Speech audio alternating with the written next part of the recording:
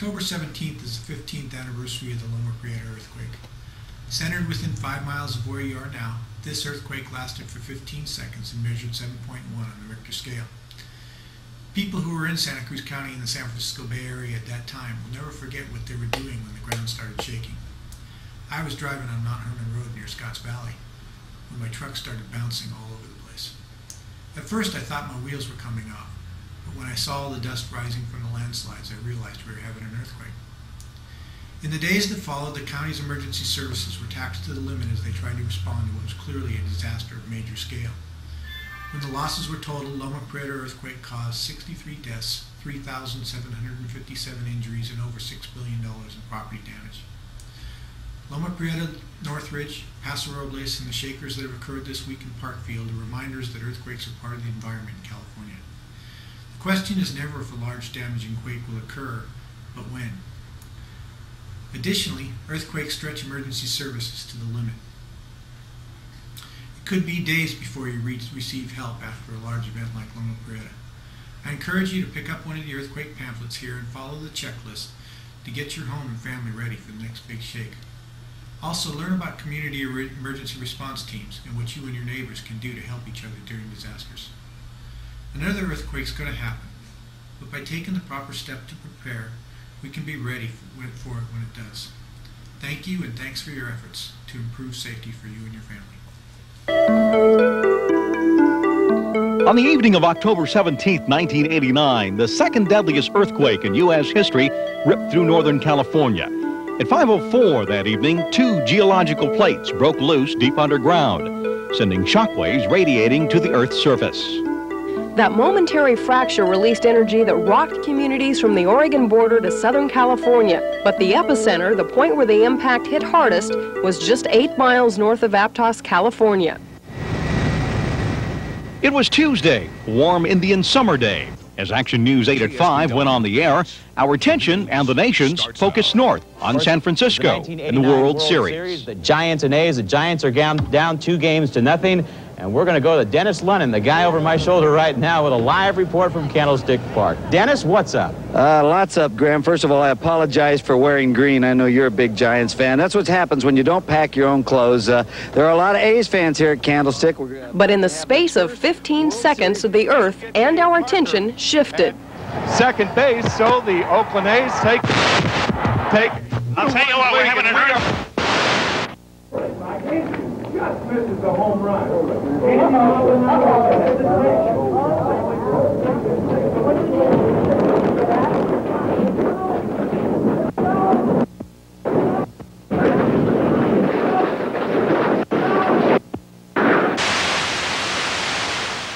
The jarring force of the quake knocked out electrical power over a wide area and knocked Action News 8 off the air for two minutes. Okay, go ahead, Dave. I'm Dave Gonzalez, live in the newsroom here at Action News 8. And As you probably know, we just experienced a major quake here on the Central Coast, and we're still trying to get things together here ourselves. We understand that there is some damage in the Santa Cruz area, and just how bad that is, we're not really sure yet. As we say, the, uh, the quake struck just a few minutes ago, and it is Let's see, it's almost uh, 10 minutes after. Struck at about five minutes after 5 o'clock and put us off the air here just temporarily. We're not sure. We're trying to get uh, find out right now exactly how strong the quake was and find out its epicenter. We have been scrambling around. Excuse me if I'm just a little bit out of breath. But uh, the quake happened uh, just a few minutes ago, and as I said, somewhere along the central coast, we understand the only report we have so far is that there is some structural damage to a building uh, in the Santa Cruz area. And the reason we know that is because it is our own Santa Cruz Bureau there where... Uh, it was a devastating earthquake. The enormity of the disaster was evident minutes later in the stunned looks of people wandering dazed through the streets. The Pacific Garden Mall in Santa Cruz seemed to be a war zone.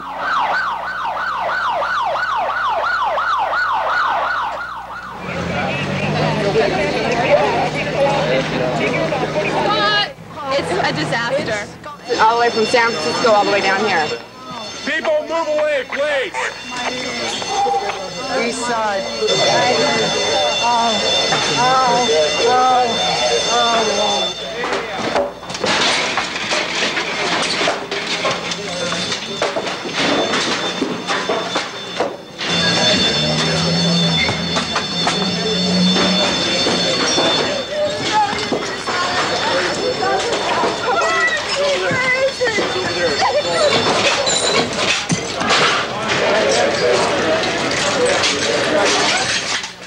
Lots of rubble everywhere.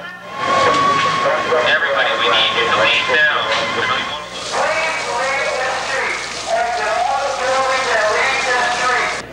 Where's the fire? Just all over the place. We've got house fires and problems down at the wharf, problems at the boardwalk and stuff like that.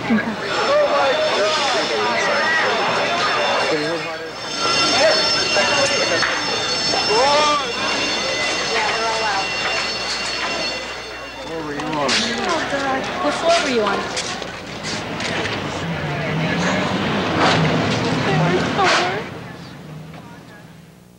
The country watched the Bay Area. We watched our local communities fighting their own devastation.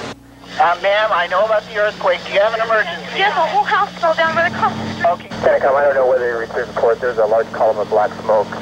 Dookie Center. Well, we got some gas, coming out of a pipeline. Gas coming out of the pipe.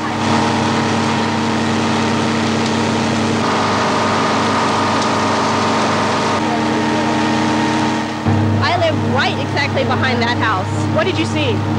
I saw nothing. All we felt was the earth and the house just moving. And then we, I came outside and everybody was yelling fire. There's a gas line going and everything. And then we left. I mean, how's your house doing? It's in shambles. It's unlivable. With the destruction spread over such a wide area, you helped us tell the story. A San Francisco tourist videotaped this dramatic and deadly moment when a car drove off the broken edge of the Bay Bridge.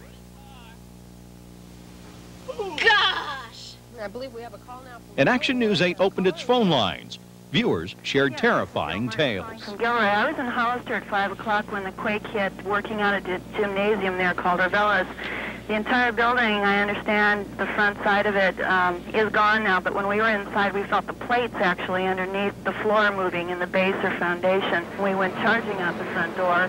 Um, bricks started flying and steel girders came down. The glass blasted out inward and outward. Um, people were screaming in the streets, of course. Um, it was a short time before the police arrived, but we did go around the backside to get someone out we thought was trapped inside the building.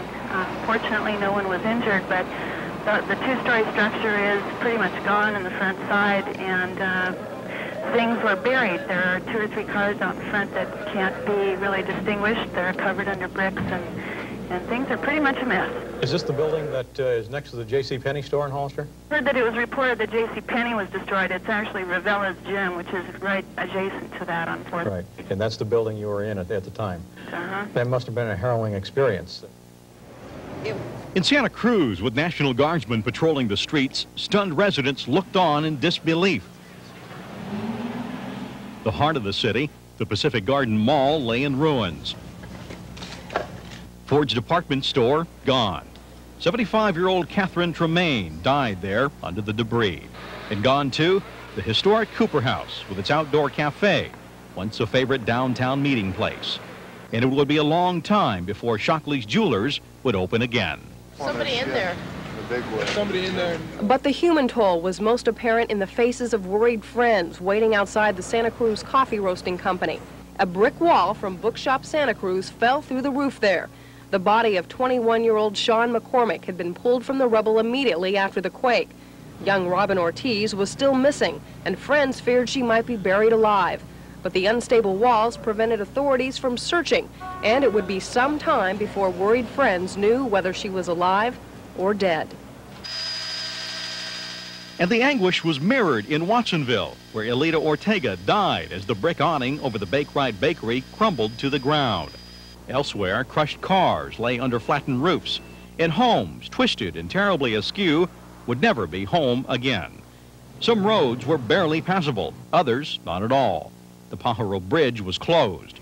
There were many other stories of damaged buildings and narrow escapes, as John Libertini reported. It was transportation. The jarring action of the earthquake, now placed at 7.1 on the Richter scale, closed dozens of roads, including two major routes into and out of Santa Cruz County. In Watsonville, Highway 1 over Harkins Slough dropped 30 feet to the ground below. A flattened ribbon of highway, support columns once underneath, now poking surrealistically up through the pavement. And on Highway 17 north of Scotts Valley, hundreds of tons of rocks and dirt buried the road at Laurel Curve. It was a commuter's nightmare. CHP officers limited Highway 17 access to carpoolers. Drivers alone were turned back. This will continue daily on a seven-day-a-week basis for the next, who knows, until we get this situation under control up there. The situation would not be under control for some time. It would take weeks for workers to clear the highway. Drivers forced to detour through miles of winding mountain roads faced nightmare commutes, creeping along foot by foot for hours. And Mother Nature was not through yet. With cracks from the jarring temblor tearing across mountain hillsides, the rain, normally a welcome sight following months of dry skies, seemed now like a cruel joke. John Libertini followed the foul weather into the hills. It couldn't have come at a worse time. Heavy rain socking the steep and already fragile Santa Cruz Mountains. You had the, the chimney almost come through the roof. You can't see it over there from here, but I was up at 5.30 last night patching the, the roof up, slightly leaking. Dave and Jennifer Deming survived Tuesday's earthquake. The chimney's damaged and the roof has a hole, but now the rains and this fissure are tugging at the foundation of their home. They cleared us to be in here. You know, they said that that was it, but that fissure is what has us nervous because it could slide, and it runs behind our neighbor's house and up behind the water tanks over there. By midday, the downpour had become hard and steady. Emergency vehicles are standing by in case this disaster worsens.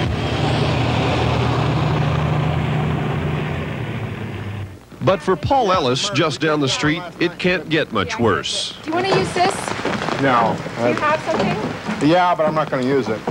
Two of his homes crumbled under the Temblor's force, just like another did seven years ago in the Love Creek mudslides. In 82. You've got to wonder uh, what you're doing. I'm moving to Oregon next time. I'm going to live in my motorhome until I get that uh, uh, squared away. Slippery. For the victims of this disaster, the preoccupation of pulling their lives back together has kept them from thinking about this ordeal. But inevitably, the realization sets in. I think it hit me last night because he went down the hill. He had to get some things that were left at the airport when he rushed in so fast. And the electricity went out. It was getting dark. And I got a call from my doctor. I had a little medical problem with my pregnancy, and that was just like it. So I sat here in the dark holding my kids crying for a while. In the flatlands of Watsonville, there was at least a break from the rain as a military airlift dropped off desperately needed supplies. Okay, uh, Navy helicopters inbound. Winds are out of the southwest at about 5, and uh, your contact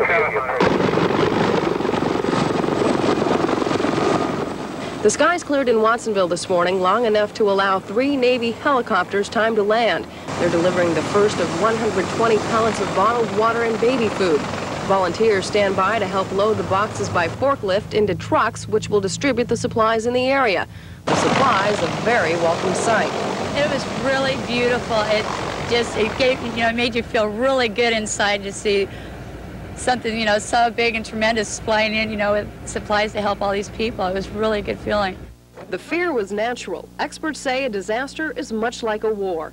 And as in a war, post-traumatic stress is not only normal, but a healthy response to a terrible situation. There's a delayed effect where people are falling apart and they don't understand why. And what has happened is that they've spent their resources, and a lot of people haven't taken care of themselves. They haven't done the self-nurturance. Everyone who rode out the quake suffered some stress. The irritability has been building up. And it just seems like the small molehills and the things that you deal with on a daily basis, and I always have dealt with on a daily basis, have now magnified. Carol sought help through a church counseling group, and Santa Cruz County has established Project Cope for anyone feeling anxiety.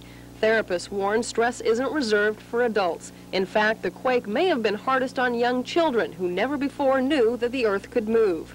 Do you, do you like to be by yourself? No, I like to be with you guys instead of the big giant one. Yeah, what would you do? I don't know. Would you run into mommy and daddy where we were? No. No? No. You stay oh. by yourself? Kids will be becoming very clinging and dependent on, on the parents.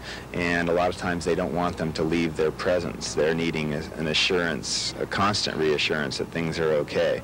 They will often repeat the same question 15 or 20 times, again, just trying to establish with mom or dad that things are going to be fine. Everything, you know, that moves or any noise, she wants to know what's that or you know she's saying when's the next earthquake to be well, we talk about it a lot she she likes to talk about it and we just tell her that you know to get in the doorway or you know try to let her know what to do because she she always says well what if it happens what are we going to do Without exception, that is a question we should all be asking ourselves. What are we going to do when the next one hits? Being prepared is one way to feel better about living on a fault line. And with that in mind, we offer some important tips for earthquake survival. Being prepared is fairly easy. The experts say you may have to live on your own for up to three days, so keep enough food and water on hand for at least 72 hours. You'll need a battery-operated radio or television to know what's happening, and always have a supply of fresh batteries on hand. A first aid kit, flashlights, and blankets are also important, along with a small supply of cash. Banks and electronic teller machines may not work if the power is out. And no electricity means that gas stations won't pump. Try not to leave your gas tank less than half full. Around the house, you should know where your electrical fuse box is and how to turn the power off. And the same goes for gas and water. The gas valve is especially important since leaking gas can cause a fire. And take time to anchor furniture to the walls. Bookshelves and other tall things can topple over when the shaking begins. All of these are simple things to do now before they're needed, and they'll make so much difference later. In Santa Cruz, the people decided long ago to preserve the Cooper House, the old courthouse building on the mall. But now, it too is gone, along with its many shops and restaurants. But there is still hope for the future, and much of that lies in the way we all pulled together when the earth tried to pull us apart.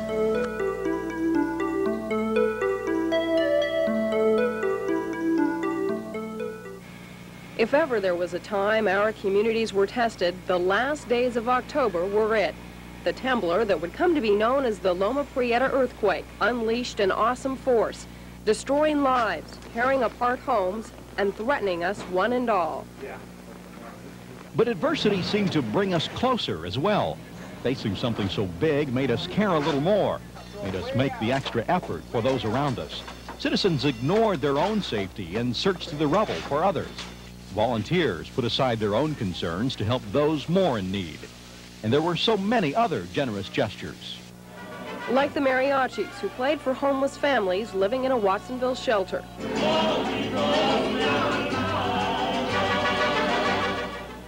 And the tons of clothing, so much donated, the relief groups had a hard time keeping up. And the Harbor High kids who gave up their homecoming plans and raised money for the relief effort instead. One of those gestures was a benefit concert in Santa Cruz by rock legends Crosby, Stills, and Nash. Look around me, I can see my life before me, running rings around the way it used to be. In the end, the Loma Prieta earthquake will become what we recall of it. Long after the homes are rebuilt and the bridges and highways repaired, the spirit of giving will remain as the symbol of the earthquake of 89. Look around me, I can see my life before me, running rings around the way it used to be. And it was the opinion of me and David and Stephen that we would love to come to Santa Cruz and help out in any way we could. And there's so much time to make up everywhere you turn. It's time that we come together and remember we're not only mourning a loss, but celebrating the fact that we're all alive, that we will rebuild, and that it's going to be okay again.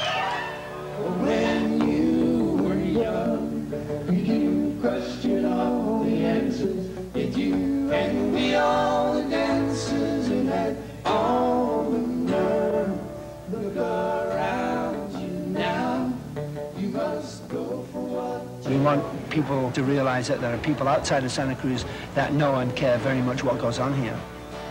So much time to make up.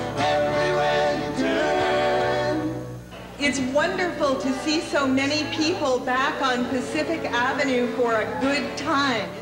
And when I was talking with the mayor uh, the other day, she uh, put it just right when she said that the spirit is in the people. It's not in the old buildings that you're losing, and it's not in whatever is going to replace those old buildings. The spirit is in the people, and we're trying to keep that spirit alive.